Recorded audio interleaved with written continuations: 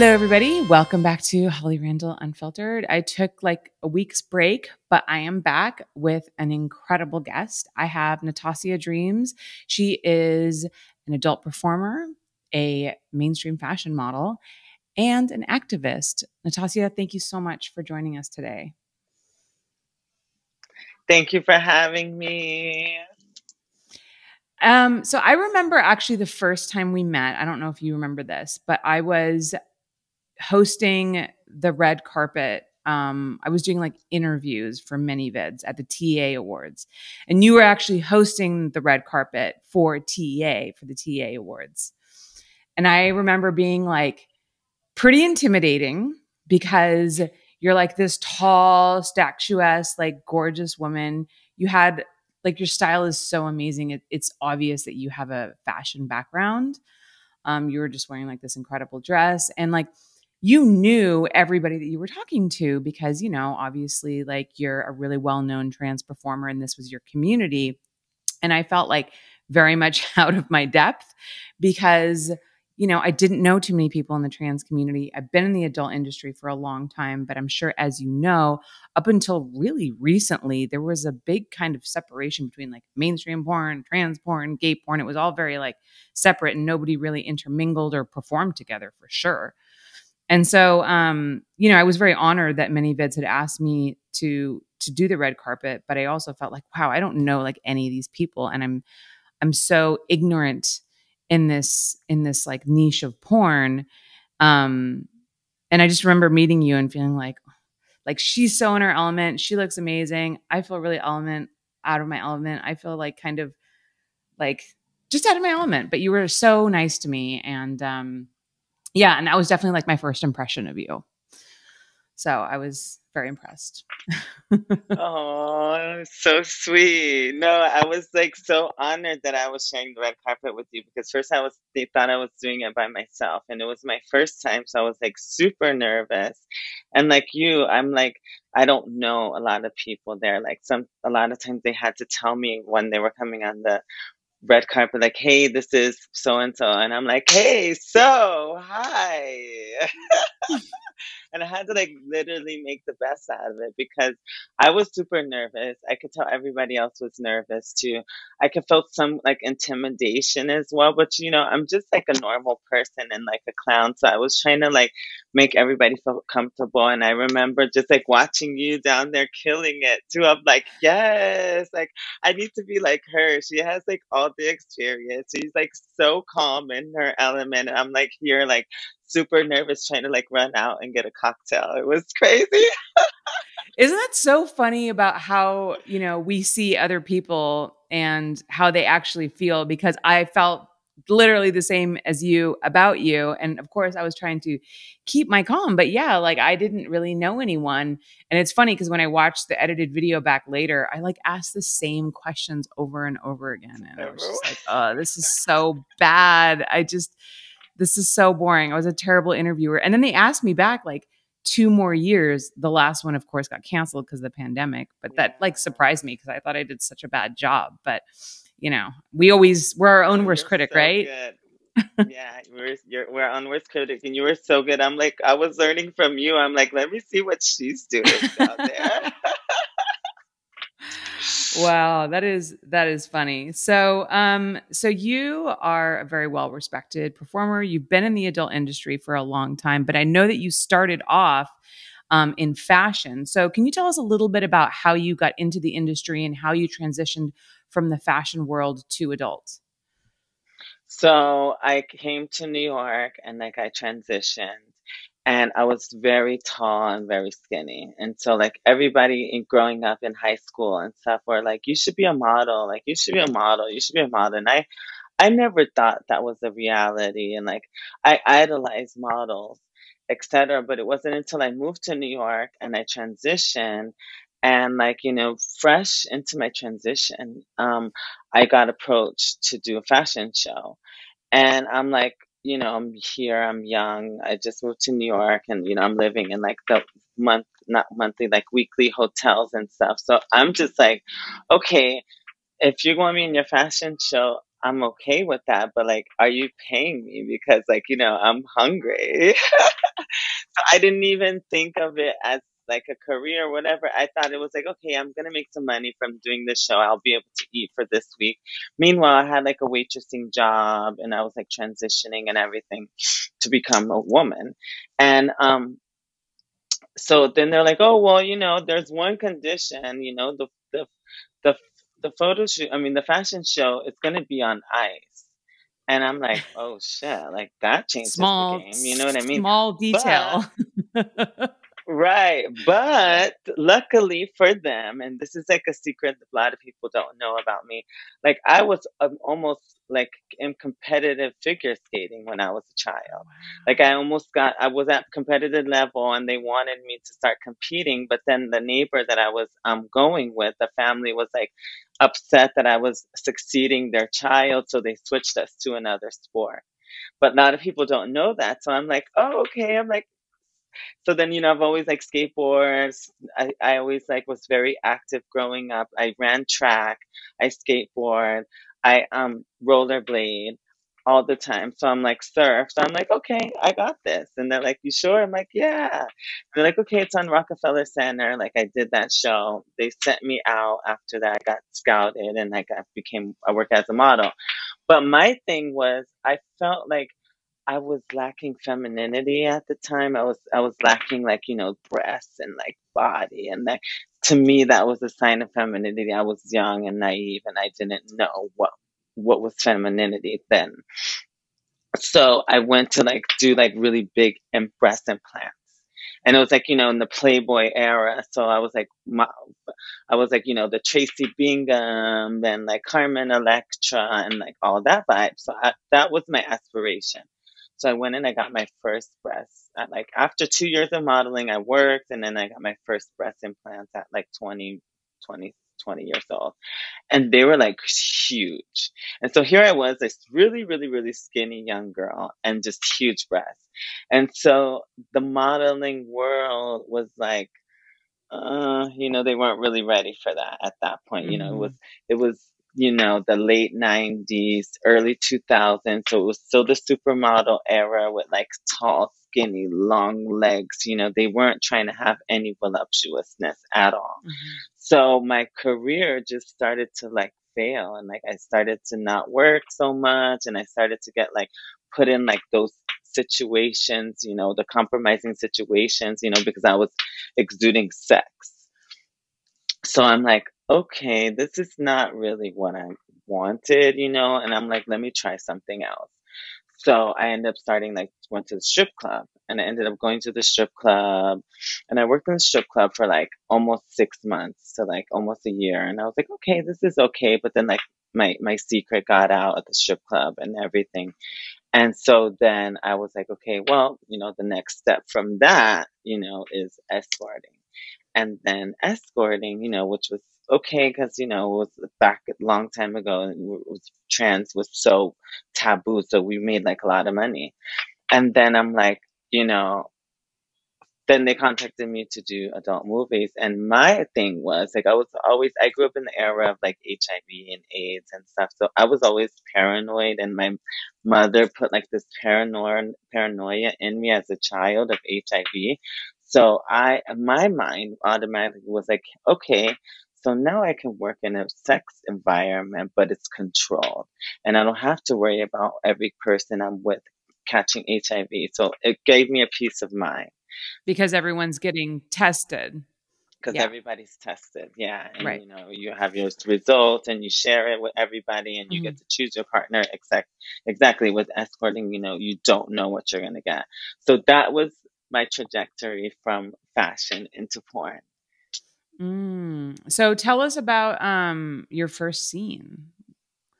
So my first scene, I was in Miami and I had moved from New York and I was ha- had a boyfriend at the time. We were dating and we had like little issues, you know, he was unfaithful to me maybe like a, a, a couple times. So I decided like, okay, let's move out of New York because it's too much like distraction. Let's move to New- from New York into Miami and we'll start over and, you know, try to make our love last or whatever. So we get there and like you know we're staying in like the guest homes like you know you pay for the week or whatever like hotels to pay for the week again and um this escorting i'm escorting and then these people contacting me and they're like hey do you want to do this movie i'm like with who with and they're like well do you have anybody in mind and i'm like i look at my boyfriend i'm like well i guess we're doing a movie and he's like, yeah, okay, let's do it. Like, it's money involved. I'm like, yeah. And then with that money, we'll get in the, we'll get into an apart, a deposit for this apartments that were like down the block. So I remember like talking with the guy and like, yeah, like, yeah, we're going to give you this money and then we'll pay him this money. And I, I just saw the money and I'm like, I didn't even know like what it entailed or whatever. So they did the little pickup and we were at like, I was getting ice cream and he's like walking down the street picking me up. And it was like so corny to me because I'm like, this is like my boyfriend, like, you know, and we're like acting mm-hmm. like we don't know each other. And it's my first yeah. movie, you know, I'm, I'm not used to this. I'm like, wow, this is like so weird. And then we go back to our place and we like do the movie. And it's like, I was just like so in shock because I've never had like a camera so close to my genitals and I, it made me feel very uncomfortable. I was like, I don't, I, I don't even know how. Only reason probably why I went through it with it because it was my boyfriend at the time, and we had we were having sex like three, four times a day, so it was natural. But if not, I don't think I would have been able to do it. To be honest, yeah, it was a lot, very challenging. I'm, I was very shy. I still am very shy, but I was very shy at that time, and I was not comfortable with my body, so it was very hard for me to do. So, um, how did like how did you feel afterwards? So when you were done, did you feel like okay, like I got through that? This is something that I would consider doing more of, or were you like, okay, that was enough? I don't really ever want to do this again. Yeah, I was like, that's good. Like I tried that. Uh, it was fun. I got the money. I got to my apartment. I started doing, you know, then I had a name for myself then. So then I was doing webcam and I was totally okay with that. Mm. I was not looking forward. I wasn't not trying to continue this um, occupation until we broke up. And it was like a horrible breakup. And I did the whole, like, you know, wanting to kill myself thing and drugs and fucked up. And then one of my girlfriends came and she was like, hey, so, you know, I'm your friend. I'm not going to let you be like this. I have some scenes, like a solos and stuff booked in LA and you're coming with me. And I'm like, no, I don't want to go. Whatever. She's like, no, I'm not asking you. Like, you're coming with me. So then I went and I'm going to be 100% honest. I don't, I probably haven't said this a lot, I went to do this movie with this girl, and this girl at the time was HIV positive. Mm. So I'm like, wait, did you know that going into the scene? I knew it. Yeah. Okay. So I was like, how is this going to work? Like, you know what I mean? And I'm like, well, I'm not going to work with her, but like she's working in the industry. And I'm like, you know, and I saw her do the scene with the guy and everything. And I'm like, wow, like this is before it was really, really, really, really, really regulated. Like, you know, right. and I was just like, wow, like I kind of, I was kind of like traumatized actually by that. I was like, you know, they didn't ask her for anything. You know, I know her because I know her personally. And I was like, you know, this is kind of scary because now who knows if she transmitted it to this guy and maybe this guy's going to come back around to work with me, you know, and I'm mm-hmm. like, oh my God, you know, I did a solo at that time.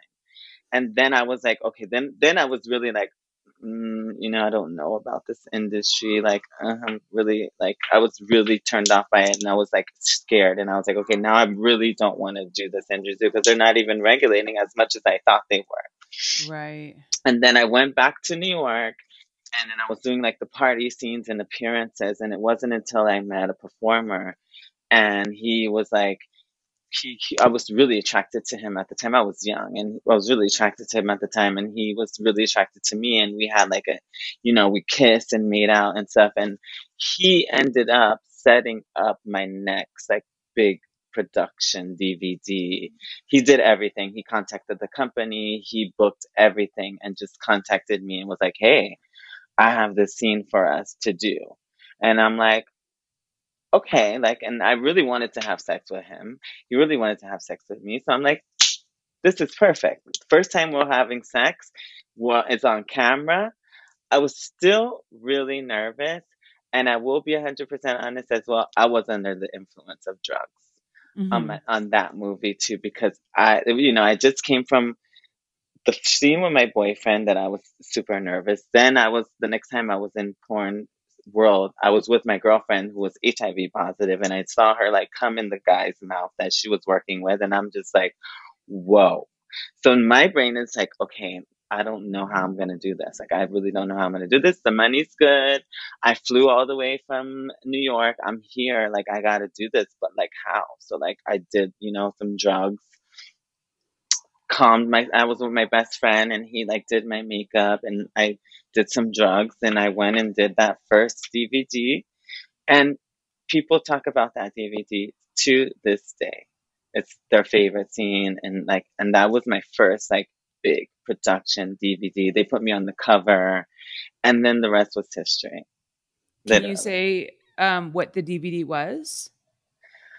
I don't want to say the name of it now because No, it's very derogatory, you know, and I Oh. don't want to promote that, you Gotcha. know, names now. But yeah, Gotcha. yeah. Gotcha. No, totally understand. So actually that kind of brings me to my next question. You know, you've been in the adult industry for a long time and I have too. And there's been like huge changes in the way that, you know, the mainstream quote unquote, which is generally like the straight side of porn that like kind of most people know about, has been trying to embrace diversity. And there's been a lot more like trans um, scenes coming out, performers working with trans people. So, how have you seen the adult industry change in the time that you've been in, and and how are trans performers treated now? Is it better? Is it um, kind of the same but different? Like, how do you see the changes that have happened? So I see I see a lot of changes happening. You know, I'm I'm really happy that performers now are having the freedom to sleep with who they sleep with behind closed doors on camera now. I'm happy to see that people are taking that, you know, and, and not having shame to perform with trans performers. Like I'm here for that. At the same time as well, it's very performative at the same time. You know what I mean? I know people like that work with trans, but then at the same time, they don't never associate or hang out with the trans person or check for their well-being or something like that. It's like it's it's they they think of it as only work, and you know us as trans people, we are people outside of work. You know what I mean? We don't want to be taken advantage of just for you to get the clout that you're working with a trans person when you really don't Mm. even like trans people. And that's what a lot I'm seeing, and it's very frustrating to me. I don't want to say any names, but there's a female performer out there, and she played this thing that she's an ally, and she's like gonna. She was played the knight in shining armor, but at the end of the day, she was a traitor. Like she ended up going back and saying everything that we say we were talking about in confidence to the people, and and then I see her doing trans scenes as well. Like, and I'm just like it's so performative at the same time like and i don't know what's worse to be honest i don't know if it's if it's worse being ostracized and and having people sleep with you behind closed doors or having people sleep with you for their own advantage which is i mean you, i guess you take the lesser of the two evils. So, So, like- i mean i'm kind of like for clout, you know, because you know now we're we're seeing this, you know, like performers doing their firsts, right? So it's like mhm, first boy mhm, girl, first anal scene. It was like first IR, and then it's like first mhm. trans scene. Trans. Like you guys are Yeah. some kind of like hurdle to overcome or some next step in like their, you know, ladder to success or something like that. And a lot of it is what also has to do with the whole HIV thing. Like there's Mhm. this stigma on trans performers that, you know, we have HIV and we spread HIV and and we get tested just as much as the cisgender performer. So like it's funny because people will put people on a no list for working with us, which I don't understand the meaning behind it. Like, you know, I have a test that's 24 hours. You have a test that's 24 hours. You have a test that's 24 hours. Yeah. Like, there's no difference at all.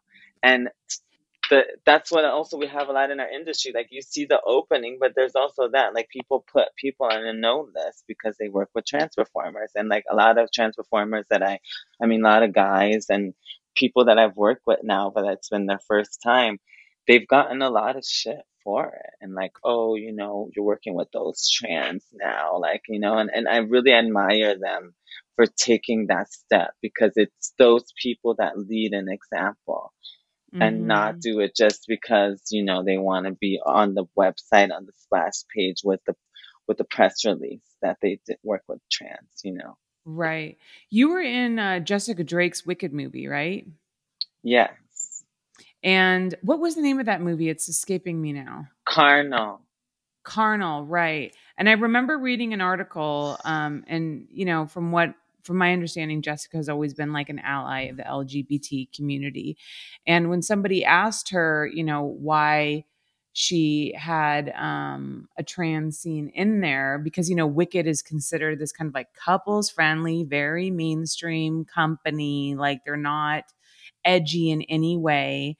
Um, and so I think it was a surprise to a lot of people that like Wicked was putting out a scene. And and I remember reading Jessica said, you know, like I, I put a scene in there because I really wanted to um, kind of introduce, you know, working with a trans performer as something that was, you know, still normal and sexy and beautiful. And it didn't need to be its own like trans DVD, like its own like trans, like, you know, it didn't need to be this niche.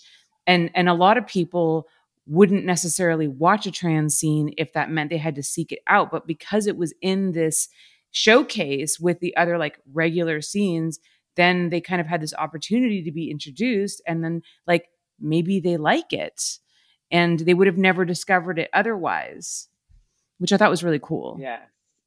Yeah, that's amazing. And I, I love that. I'm here for that. I was, I love the, the inclusivity that way is amazing. Like, yeah, you don't, I don't think, you know, you need to announce it as anything different. Just treat it like trans women are women.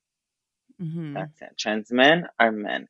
Treat them as you would treat a normal uh, cisgender man, and treat trans women just as you would treat a cisgender woman. It's so easy. there was also like some pretty big news when Daisy Taylor did a scene with Xander Corvus for Brazzers. And Brazzers is again like another big mainstream site. And I and I shoot for them. So I went on and I looked at the scene and I was reading the comments, and of course, there was like, you know, some people who were like, oh, I didn't know that this was a trans scene. I came here for straight porn. But there was a lot, a lot of people, more so than the negative comments, were positive comments saying, like, this is super hot. Thank you for including this scene. I'm into seeing this. Like, thank you, yeah. Brazzers. Like, so, you know, like the feedback was really positive, and it made me you know, realize I think a lot of men are ashamed to admit that they have an attraction to trans performers because, you know, like there's that whole like, you know, masculinity and I have to like be a man and I can't possibly like anything else but just like cisgender women.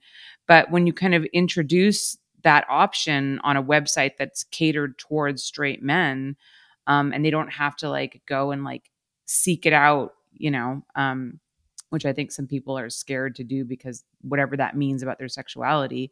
I think it's a really wonderful way to open up people's horizons and allow them to like, you know, consider the fact that they might like other kinds of porn and that's totally fine. I love it. I recently shot with them as well with Xander and that was amazing experience to be honest. Like, you know, he he's a pioneer and my hat goes off to him. Like he's doing the work as it should be done, not because of the money, because he wants to and he wants to set an example. And that's why I appreciate him and I have high regards for him. Yeah, because Xander's a contract star. Yeah, I wish a lot of performers would take his lead because yeah. he is that is a man you know, that is, he's secure in his sexuality. He says trans women are women. I can work with them. I can be friends with them. And I still have sex with all the million other cisgender women and you know and mm-hmm. have his normal life and I, that's the example that we need he's the perfect example like knight in shining armor xander yeah no he's great we we love xander we've had him on this show and he's he's amazing and i i definitely applaud him for that so has that scene come out yet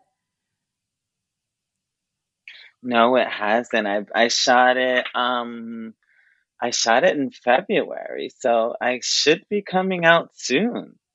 I don't know what they're waiting for. It's gonna be so good. It's gonna be so good. Like I'm so excited for it to come out. I'm so excited.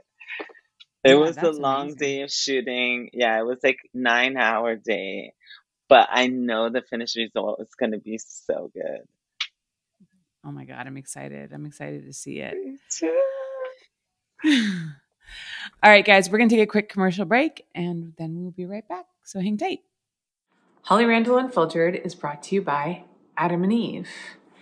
Adam and Eve is like the biggest online sex toy retail store. And in fact, they don't just offer sex toys, they also have movies, they have lingerie, they basically have anything sexy that you could be looking for.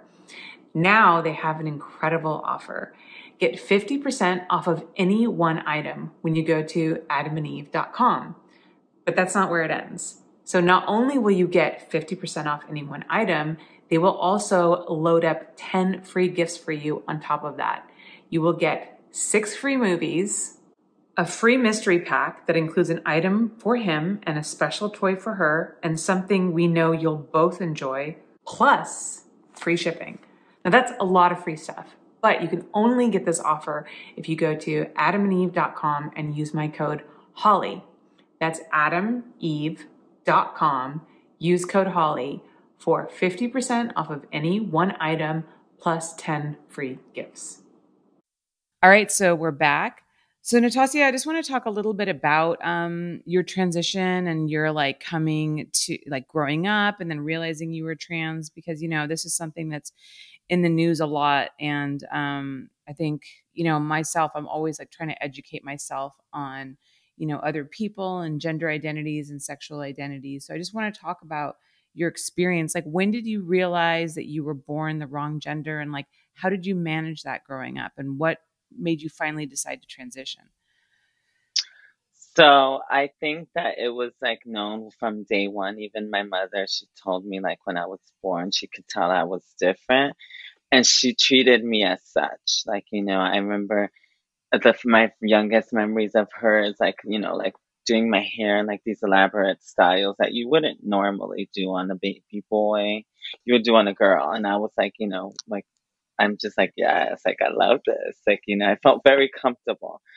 So then, like growing up, like when I was like five years old, you know, you start to like play outside and, you know, you play house and, you know, those little stuff with when you're kids. And I was always wanting to be like the mother of the house and like I wanted to do all the domestic stuff and I wanted to have the husband coming home. And I'm like, wow, that's when I started to realize like, well, I feel this way, but I know I don't look this way, but I, I know I act this way, but like not everybody's taking it the way that I feel about it. So it was very difficult to me because, you know, I grew up in like low income housing and, you know, and then I was going to really nice schools, like gifted and talented educational schools, which that helped me in the beginning because, you know, it was like intelligent kids and it wasn't the kids of my neighborhood because the kids in my neighborhood, they didn't understand what was, what, who I was and what was going on with me. And I didn't really either. I, I went through a lot of changes and I tried to like, I tried to like force these feelings that I had about these feminine feelings about being a woman and being in the wrong body. I tried to like suppress them in my high school because the bullying and everything was just gotten so bad. And I tried, but it just, I couldn't, like, it just, I couldn't, it ate me up inside. And so I never knew how it would be possible to transition to complete my dreams, but I just always dreamed of it and I always had it in the back of my mind like, hey, like like you know, my I'm not in the right body. And as soon as I find a way, like that's what I want to do. Like when I turn 21, like I want to be a woman. Like I don't care about drinking, I don't care about partying. Like I just want to be a woman complete.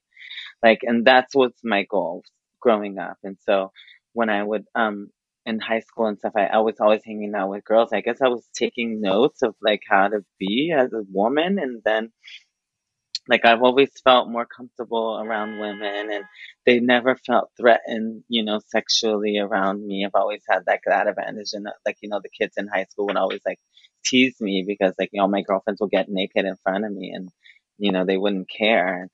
And it was really, really, really, really, really hard times. Like, nobody really wanted me to let me be who I wanted to be. So I had to like lie and fake. And then finally I just like gave up and I'm just like, hey, this is, too-. I met like another feminine gay guy in my high school and he was so like unapologetically him. And that gave me an example that, hey, like, you know, he's living his life the way he wants to. I'm going to live the way I want to. I'm going to dress how I want to. I'm going to act how I want to.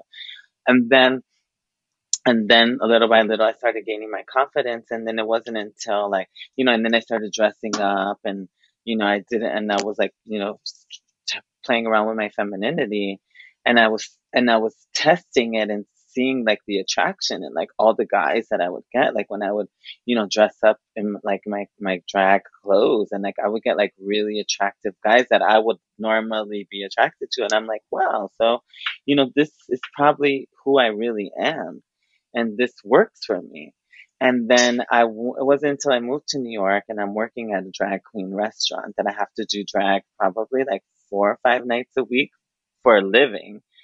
And then, you know, the first night I walked in the restaurant and I saw a first trans woman and I saw her breasts and I saw her like, you know, her little waist and she had like nice hips and ass and like her body was amazing. But then she had like, you know, was really bad stubble on her face. And I was like, like, what is that? Like, how did you do that? Like, she had like a huge, maybe like a B cup breast, like, you know, with her little bra. And I'm like, how did you do that? And she's like, hormones, honey. Like, and I'm like, where did you get that from? Like, that's what I want. That's who I am.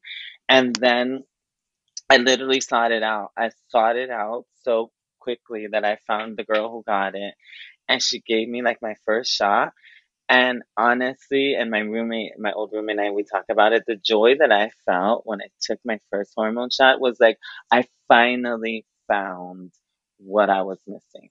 Like, I literally danced around the house for like six hours.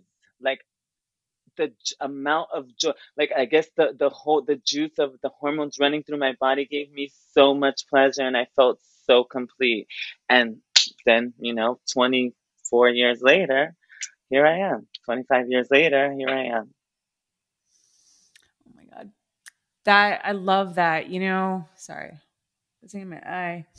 Um, you know, I feel just like everybody's you know our our quest in life is always trying to like figure out who we are like and being true to ourselves and and and our identity but you know you faced that hurdle in a way that so many of us don't understand. And so you know that moment where you feel like you finally like found who you are i i can only imagine what an incredible moment that was for you and that's like so so touching.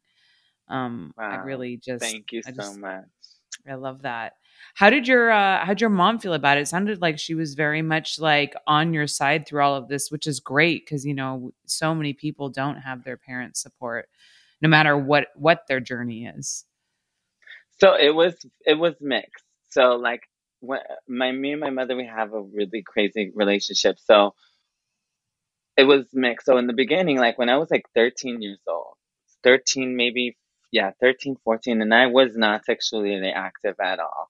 And my mom is really bad at communicating, you know, so I guess this was her way of telling me she knew. So my mom made me a doctor's appointment when I'm like 13 years old, 14. And um and she goes to the doctor and we make appointment and she's like, Yeah, and the doctor's like, Yeah, you know, how can I help you? And she's like, Well, I need to have I need my son to have an HIV test because my son is gay and I want to make I want to make sure he doesn't have HIV. And I was like so in shock. I was like, Like, you know, she could have told me that before and I would have told her like, Mom, oh, yeah, I'm gay or I'm trans or whatever, but I'm not even sleeping around. But like the trauma of that, I was just like so in shock. So then we had like a rough relationship after that. It was really bad. I ended up running away from home. And then when I moved to New York, you know, then we, we reconciled and then I moved to New York. And when I moved to New York, like, you know, every year before I moved to New York, I was in Seattle and she would send me like Christmas presents, like, you know, t-shirts and stuff when before. So the year that I transitioned, um, I told her, I mean, because, you know, we have a really good relationship. I, I'm very honest with her. So I told her, I'm like, hey, mom, you know, I'm taking hormones. Like, I'm living my life as a woman. I'm like really happy. Like, I, this is who I am. I finally found my place on this earth. And she's like, well, you know, you're not my son anymore. And I'm like, well, no, I'm your daughter. You know, you have a son, which is my brother. And now you have a daughter. Like, you know, welcome. This is your daughter. And she's like, she's like, mm, like she was really wary about it. And I was like, well, you know, I mean, thank God I was like all the way across the country and living on my mm-hmm. own. Like I, she, I, I didn't really care her opinion. I wanted to share it with her. And it was so sweet. It, it, it touched my heart because this was like, I moved to New York in September, October. By November, I was on hormones and Christmas comes along. So she's like, you know, ask me for my address for the care package that she always sends me. And I'll never forget. She sent me bra and panties oh for Christmas. God. Yeah. And I was just like, yeah, just I, I, I get emotional even just thinking about it. And I was like, oh my God. Like, and so then so then we have this other roller coaster. So then she accepts me and she's like, Yes, you know, I have a daughter. She's amazing. I have my beautiful daughter. I have a beautiful son. I'm complete. And I'm like, Okay, mom, I want to have surgery. And she's like, Surgery, oh my God. But see, then if you have surgery, you're not, she comes back with, You're not my son anymore. And I'm like, Well, mom, I don't think I've ever been your son. You yeah, know, I'm like your this. daughter. yeah, I'm your daughter trapped in You've the got over this. body. Like, yeah, like, so, but now she's super supportive and like, you know, my best friend and she knows everything and I go visit her and we hang out a lot and text all the time. Like she's my best friend. Very supportive. Yeah, just it just sounds like it sounds like she loves you, but she had a really hard time accepting all of these different stages that that you went through. And it sounds like everything, all these little like gestures that she made starting with like the taking you to the doctor because you might have AIDS which is so traumatizing because I'm assuming that's before you ever had that discussion with her about you like yes you know, not being straight. Um no but I mean it's I wasn't yeah. Yeah. I mean it's a terrible way to go about it, but I, I I would imagine that probably in her mind she was like this is me trying to make sure like you're safe, but going about it like the completely wrong way, which parents are really good at doing.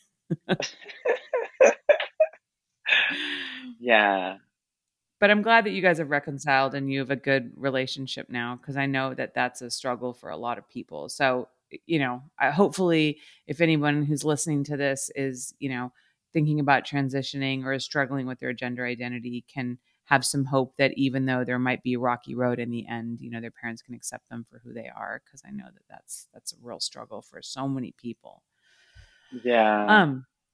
I want to talk a little bit about your your fashion work versus your adult work. So, um, I I know that when you were doing fa- in the in the earlier days when you were doing fashion and then like doing porn kind of at the same time. In porn, obviously you were out as being trans because you know obviously, um, but then in fashion you were still trying to hide and like be a woman and like the the you know struggling with those two different roles. Can you talk a little bit about that?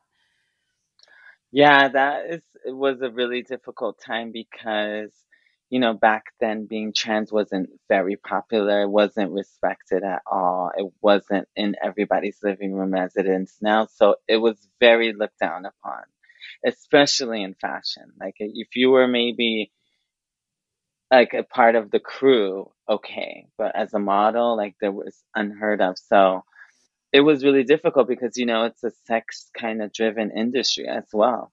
Like you know the, the, the casting directors want to sleep with the models and the other models want to sleep with the other models. And it's just like a big sex scene as well. So it was really difficult navigating through that without being able to be fully comfortable in my skin.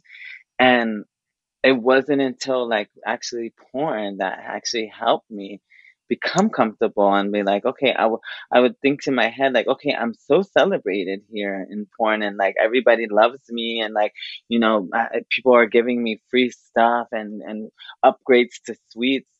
I, they know that I do porn and I'm trans. Why don't they do this when I'm a model as trans? Like, I think I should get the same. And it, it, it worried me constantly, like, you know, and then I would have to keep the secret of like, you know, and I I also would have the the modeling as the moonlighting because I didn't really like it. I would have to gauge of who I met and who I would tell what I did. You know, so mm-hmm. like you know, if I met a guy, for example, and I was gonna date him, and I don't, he was kind of like conservative. I'm like, yeah, you know, I'm a model, and he's like, oh yeah, let me see your stuff, and I'm like, oh yeah, here, do do do do do. But then if it's like a cool guy from like California, I'm like, yeah, I'm an award-winning porn star, and they're like, yeah, oh my god, that's of everything.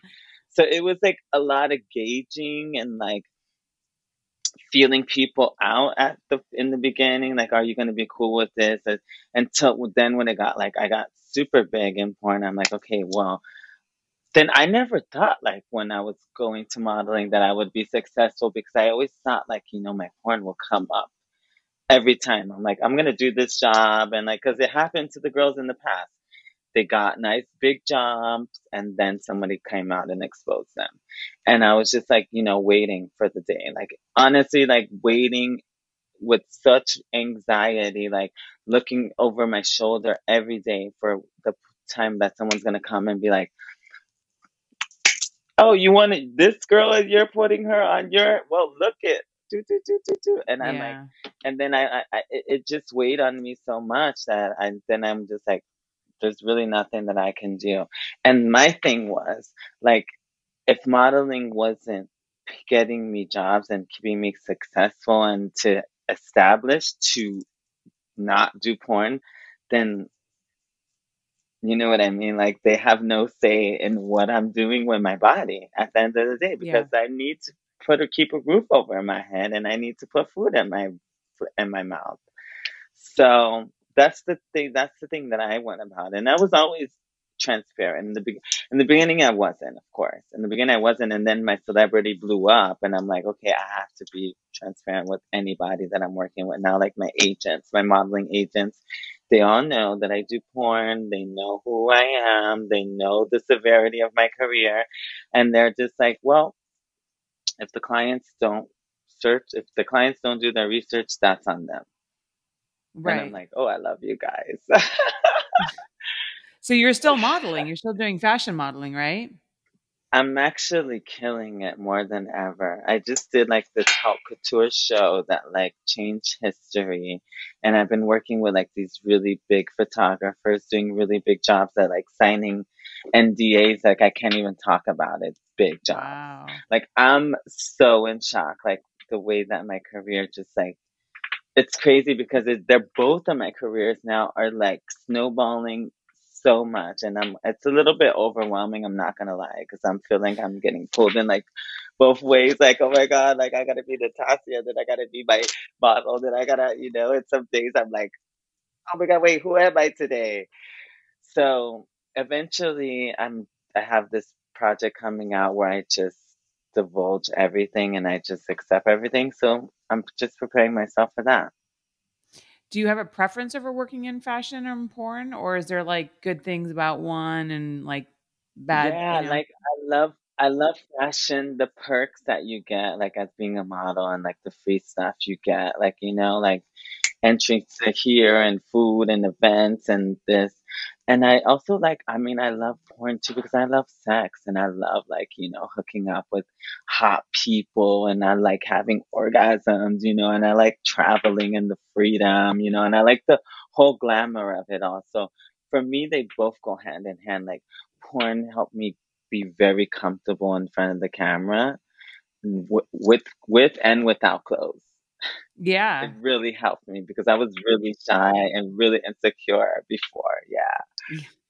I mean, it's definitely you at your most vulnerable. So if you can feel comfortable being naked and, you know, showing all your orifices to the world, then yeah, I guess everything else is kind of a cakewalk, right?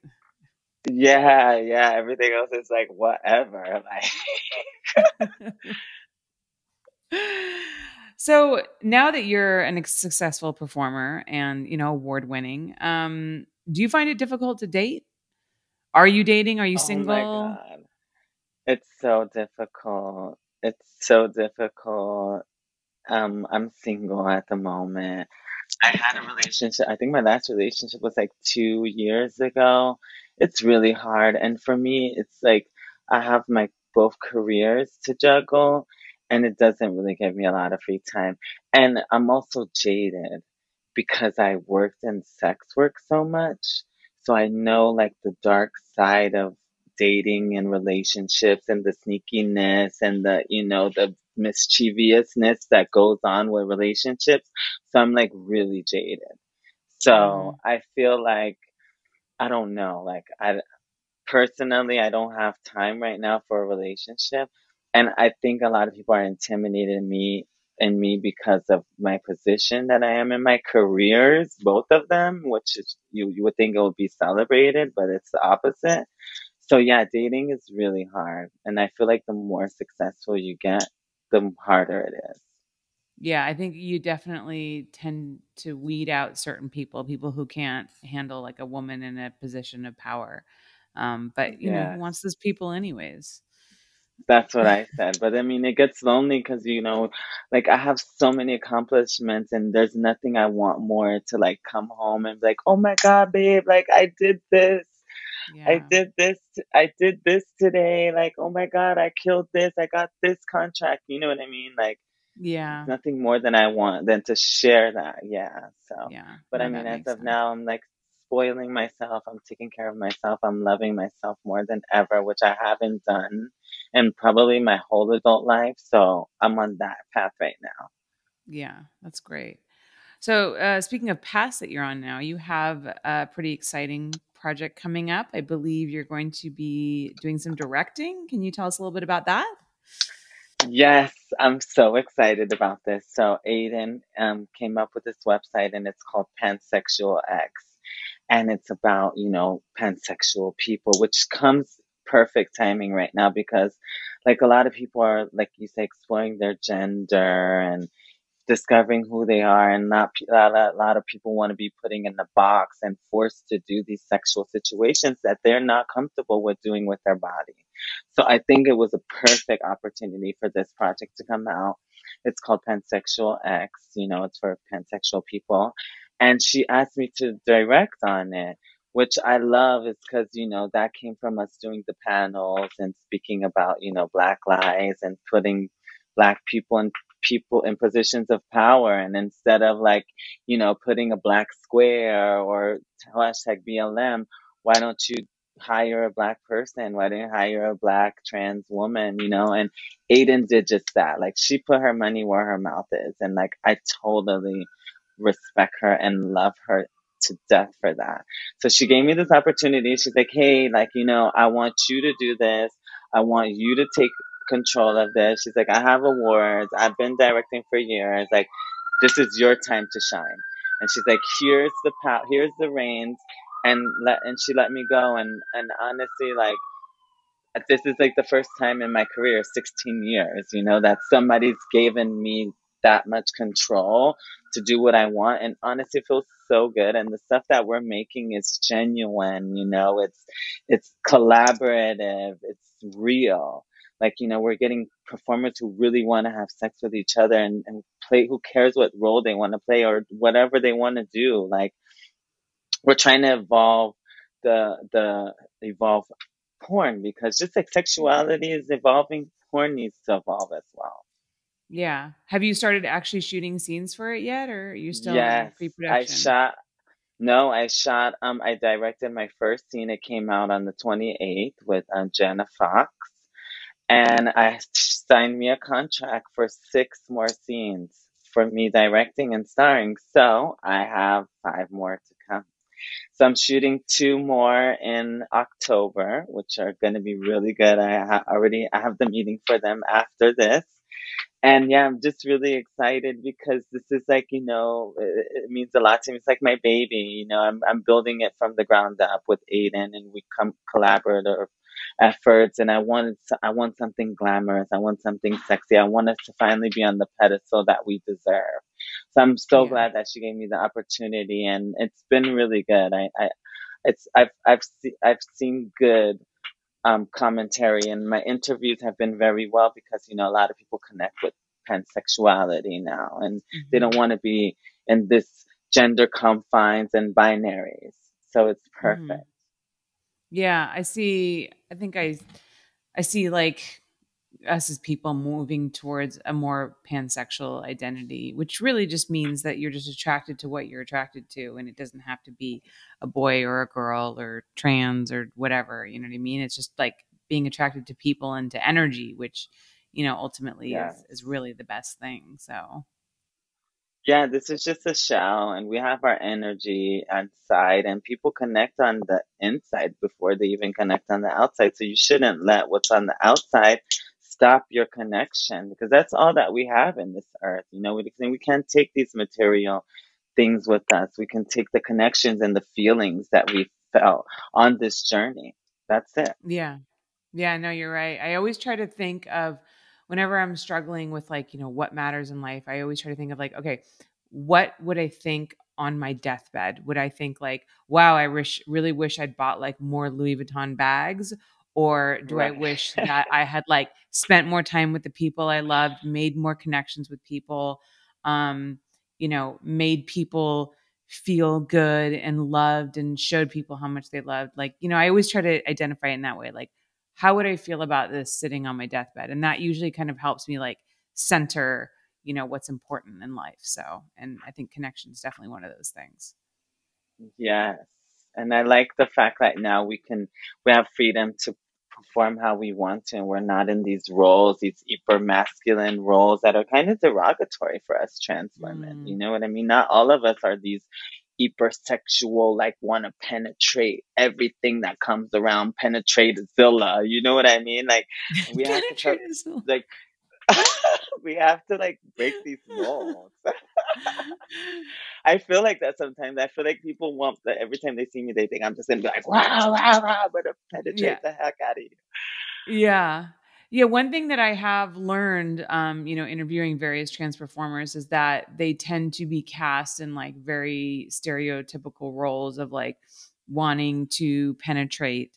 Um, but that, you know, some of them don't want to do that. Some of them just want to be penetrated. That is not the role that they prefer, but they're always cast in that role because it's like, oh, well, you have a penis, then like you should always use it. But um, not everybody feels that way. And that's not necessarily the way that they want to have sex. So, um, you know, I think it's important to listen more to the performers and, and what they prefer and what, you know, they enjoy because ultimately you're going to get a better scene in the long run if people are doing the things that they love. I think that comes across.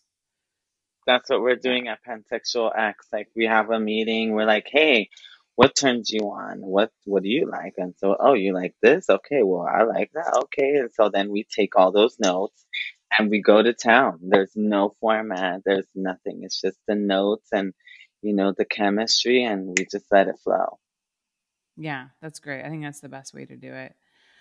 Well, Natassia, I have one. I'm trying to find it. I'm going to let you go because I know you have meetings, but I also have a question from one of my Patreon members for you. Yeah. And I was trying to pull it up on my computer and it was not working.